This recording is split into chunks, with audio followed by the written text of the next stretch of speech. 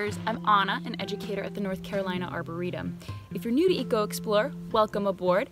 If you've been with us before, we're glad you're tuning in again. For those of you that might be new, you can start by going to ecoexplore.net with your grown up and create a username.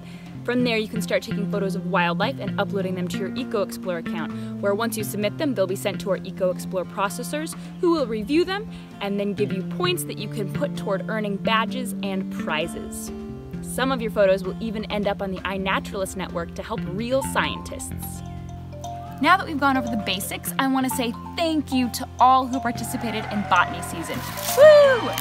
Remember, you still have until Friday, June 5th to submit all your badge requirements. And now I'd like to welcome you to a new week, a new season, a new badge, herpetology season.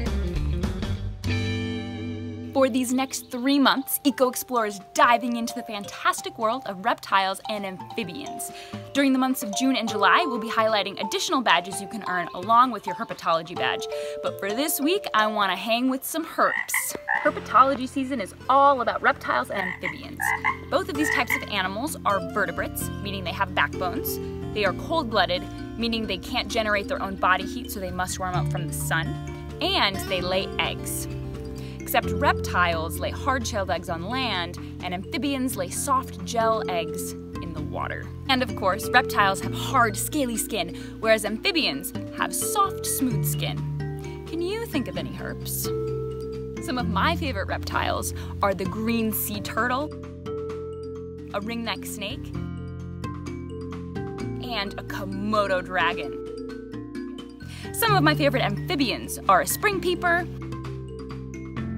an eastern newt, and a green frog. Next, I want to introduce you to a special guest who studies reptiles and amphibians for his job. I'm going to turn it over to herpetologist and salamander expert Chris Beachy. Thanks, Anna. Hi, I'm Christopher Beachy. I'm a biologist and a herpetologist, and I teach both of those courses at Southeastern Louisiana University. So, how did I become a herpetologist? When I was a little kid, I remember going out with my father and my brothers in a forest in California, but we scooped up a whole bunch of tadpoles. And we took those tadpoles and we put them in a, a little pumpkin container, you know, like you would use for Halloween candy. And we filled that thing with tadpoles. And I was amazed by those tadpoles. My father didn't call those tadpoles, he called those pollywogs. I think that's kind of a pretty cool name for tadpoles. Well, we released them all, but I asked my father if we could keep one. He goes, yeah, sure. So I kept one. I showed it to my first grade teacher, and she said, well, let's keep it in class so everybody can see it turn into a frog. Right away I thought, what, what, what? This is gonna turn into a frog? I had no idea about this thing called metamorphosis, where a tadpole turns into a frog. And sure enough, that's what happened to this very cool tadpole. It grew hind legs, and then little by little, those front legs started forming, and its head started changing, and it became a frog. So that happened when I was about five, about six or seven years old. So I've been studying salamanders especially, but I still study all amphibians, and I have an interest in reptiles as well but I study salamanders specifically, and I've been extra fascinated in that process called metamorphosis for all this time. It turns out there's a lot that we don't understand about why a tadpole turns into a frog. There are even salamanders that do the same thing.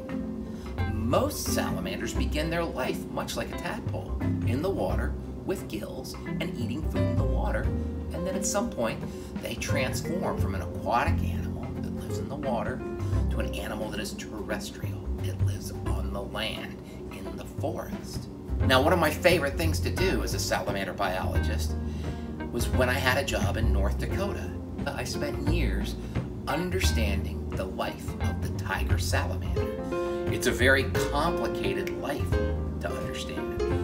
I worked really hard to do that, but it was impossible without getting help from a lot of other individuals much of the information I gathered on those tiger salamanders came from participating with local schools.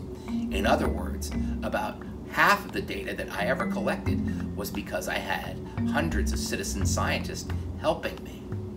What that means is a little kid in the second or third grade would capture a salamander, take a picture of that salamander with his or her phone, and then send that image to me. And so long as there was also a ruler in that picture with that salamander, that was a lot of data that I could use to help understand the life of the tiger salamander. So citizen science has always been very important to me in the work that I've done. Since moving to Louisiana, it's allowed me to get back to North Carolina as often as I can. And why would I do that? Well, you may not know this, but North Carolina is simply the best place in the world for looking for salamanders. It has more species living in different lifestyles than anywhere else on Earth. So there's all these salamanders living in the streams and in the ponds and in the woods of North Carolina. And it's spectacular there. So the next time you dig around in the forest, go ahead and turn over a rock, turn over a log, whether or not you're in a stream or in a forest, and see what you can find there. Chances are you'll be surprised, and there's a lot of salamanders there to see. I get back there as often as I can because it's about the best place to go. So thanks for listening, thanks for hearing my story. Back to you, Anna.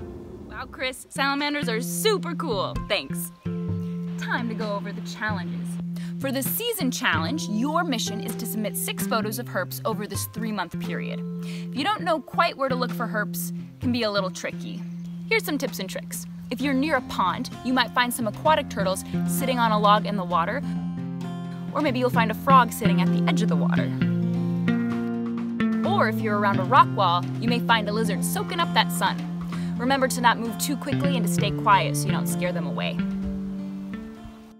This week's challenge, your mission is to pick your favorite reptile or amphibian, do a little research, and upload an interesting fact to your EcoExplore account. For more information on this challenge, you can check out our newsletter or visit ecoexplore.net. And we'll kick off our colors badge next week for the rest of June, so stay tuned. Don't forget to check your email every Monday for our wild weekly newsletter filled with fun activities and member features. Also, tune into EcoExplore's Facebook Live every weekday at 2 p.m. to see some exploring in action and maybe get a little inspired.